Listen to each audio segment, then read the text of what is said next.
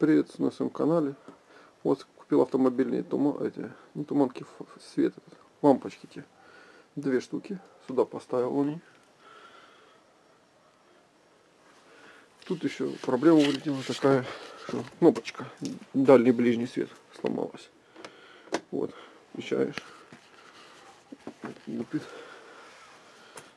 Он чуть заедает, не кнопочка. Если резко включишь, ну, нормально сейчас. Это давно не заводил. Две недели. Нормальный такой свет. По сухой погоде вообще